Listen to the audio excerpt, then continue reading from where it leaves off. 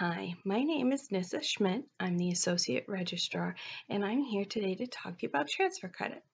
There are basically two types of transfer credit that we accept. First, there is the test-based transfer credit, where you went and took a test to receive credit, something like Advanced Placement, AP, International Baccalaureate, IB, or the CLEP test. The second one is course-based, so you either went to a college or university to take a course, or perhaps you're part of one of those programs where the high school works in conjunction with a college to award you college credit. So first we'll talk about the test, AP. When you took your AP test, you were given the opportunity to choose schools to send that AP score to. If you selected our school at that time, those scores will be sent automatically to us. Scores are usually available to the colleges and sent out in July. We usually receive them around mid-July or so. We do go through each of them, and starting this fall, we accept scores of 3, 4, and 5. We will review all the tests and award transfer credit accordingly. If you did not select our school, or if you're not sure, go to the AP College Board website and request to have those scores sent to us. It is a drop-down menu. You'll just select Manhattanville College. They have our address on file. Now, if you did International Baccalaureate or CLEP, you will need to go to that corresponding website to ask to have the scores sent to our school. So either go to the International Baccalaureate website or the College Board CLEP website and request to have those scores sent. Now, if you went to a regionally accredited college or university and you received a grade of C minus or higher, we can accept those credits, but we're going to need an official transcript.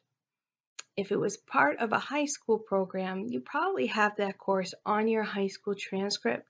However, we cannot use a high school transcript to award college credit we are going to need an official transcript from the college. So if you know what college you went to or what college your program is working with, you're going to go to that college's website. If you're not sure, then please contact your high school counselor. Perhaps they can assist you in recalling the college that the program is with. And again, go to that college's website, to that registrar's office, uh, to find information on ordering an official transcript. Or go to that college's website and look for their search feature and type in transcript request.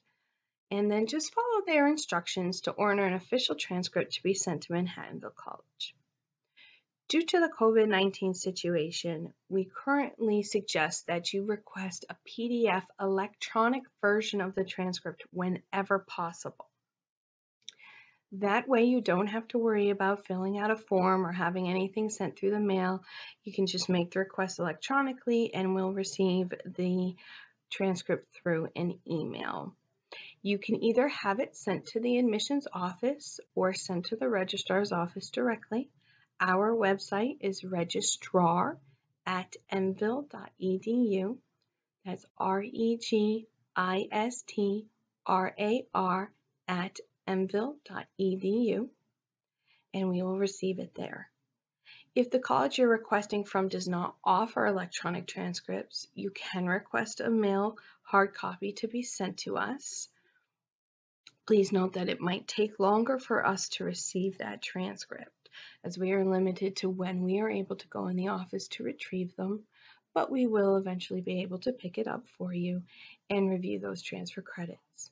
You can have that sent to Manhattanville College, 2900 Purchase Street, Purchase, New York, 10577. It'll go to the admissions office first to be scanned and uploaded to your file and then sent to us in the registrar's office for processing. Again, we accept grades of C minus or better.